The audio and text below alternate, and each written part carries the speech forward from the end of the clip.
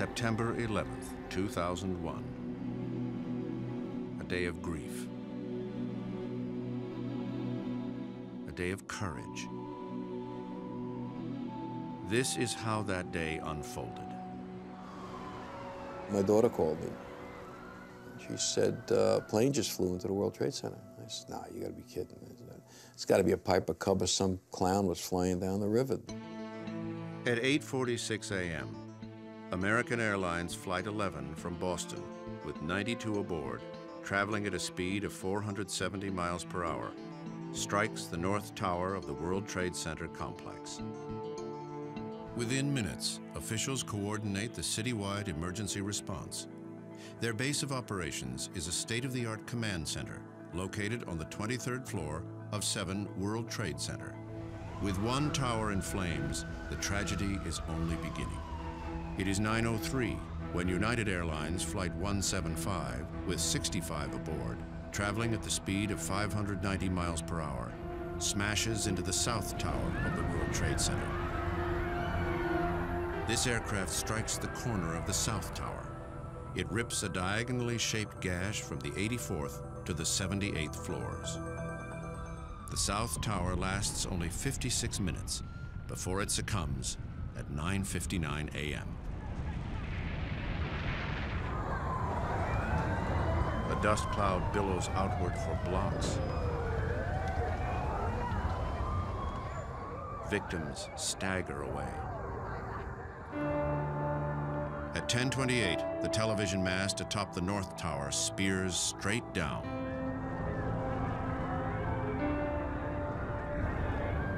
Once the collapse started, there really wasn't any way to stop it. It was just going to go all the way down once it got started.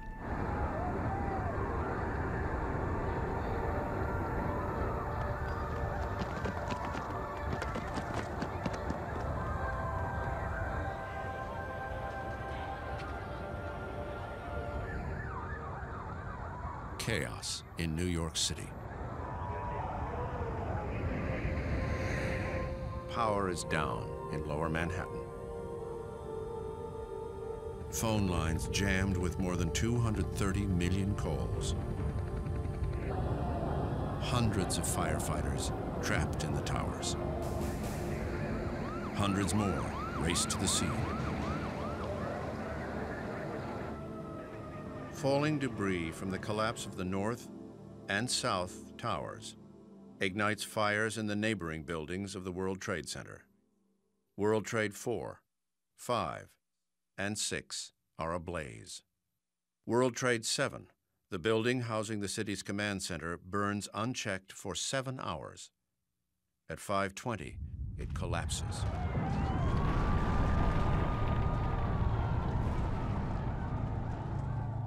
The city's emergency nerve center is destroyed. Somewhere in that time, and it's very hard to keep track of time during this, they had been ordered to evacuate number seven by the Port Authority. To this day, we don't know who gave that order, but whoever it was saved a lot of people's lives.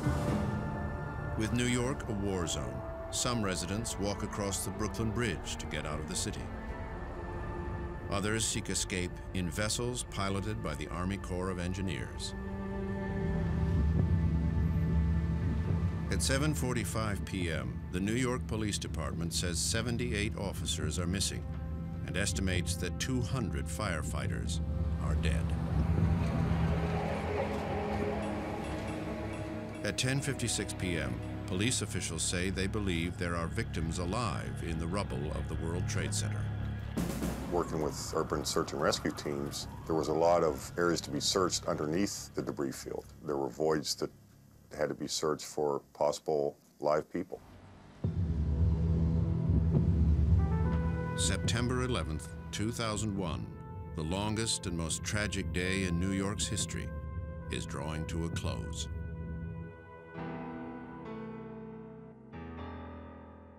So Pfeifer, videotaping. It was just another call. Uh, I'm riding with the battalion chief. It was basically camera practice. See, Jules had only been shooting for a few weeks. Before that, Gedeon was the main cameraman. Every time the battalion goes, I go. you know, I just need to practice, so I shoot.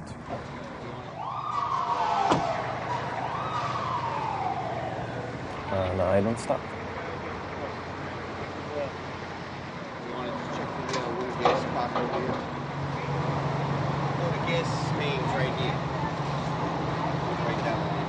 Uh, checked the area with meters, and it, it was kind of routine and um, pretty simple. It was 8:46 in the morning. And then we heard a, a plane come over, and in Manhattan, you don't hear planes too often, especially loud ones.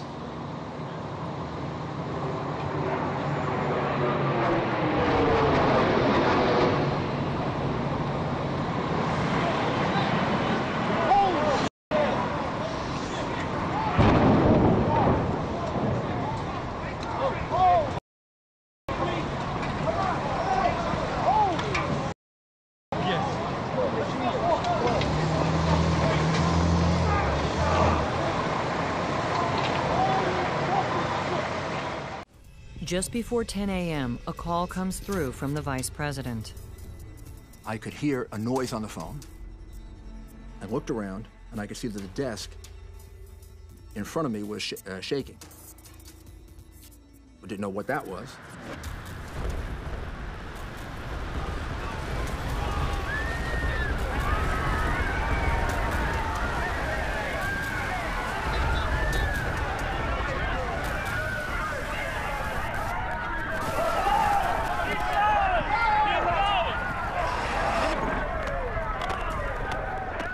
People going under the desk. I heard the chief of the department yell, the tower has come down. The tower has come down.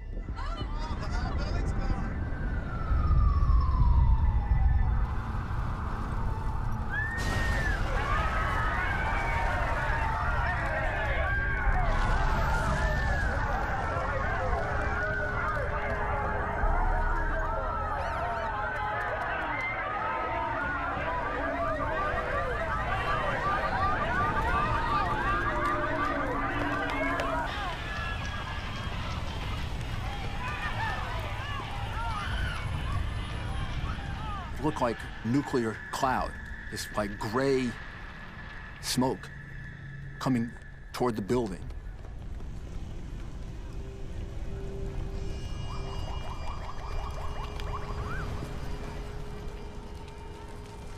Things flying through the street, things hitting the side of the building.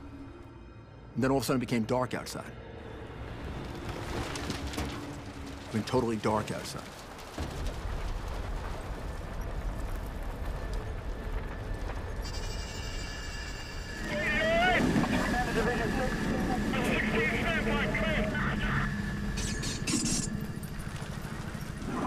Division 6 acting, K, urgent. Division 6 acting, go. All right, you're responding down to the World Trade Center. You're maintaining radio communication and advise Manhattan Dispatch what exactly is going on, K. We are unable to make any kind of communication. It collapsed. The top floors collapsed down. I saw it brought blow and then ran like hell. Thank God. I'm 69, but I can still run. There's got to be firemen trapped back there, though. When the chief said the tower came down, I didn't think he meant the entire Twin Tower. There are big radio towers on the top. And I thought those towers had come down and hit our building. The 10-second collapse instantly kills hundreds of civilians and emergency personnel.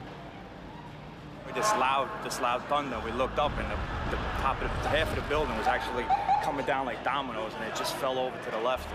And everybody started running. It was, it was a nightmare. It was a nightmare.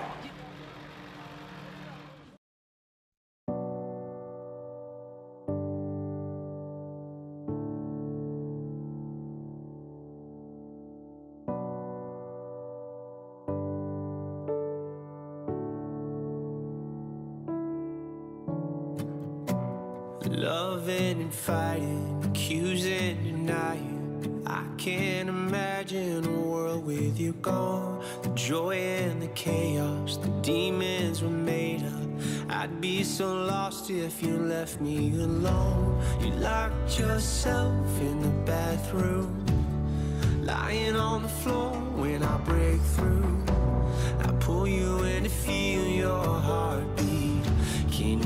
Screaming? Please don't leave me. Hold on, I still want you.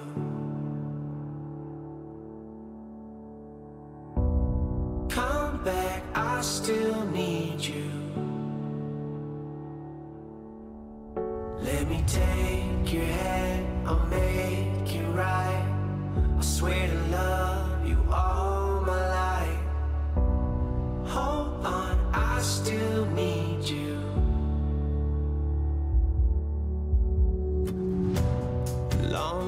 Endless highway, you're silent beside me. Driving a nightmare I can't escape from.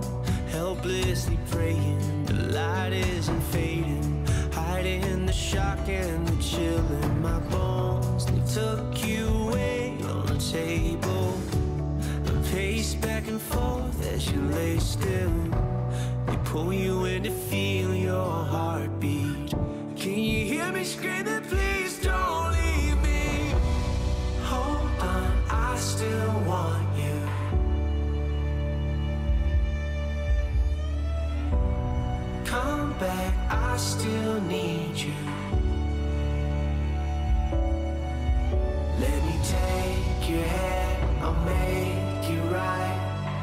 Swear to love you all my life. Hold on, I still need you.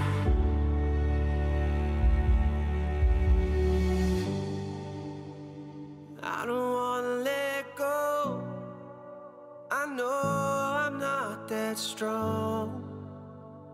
I just wanna hear you saying, baby, let's go home. Let's go. Yeah, I just wanna take you home.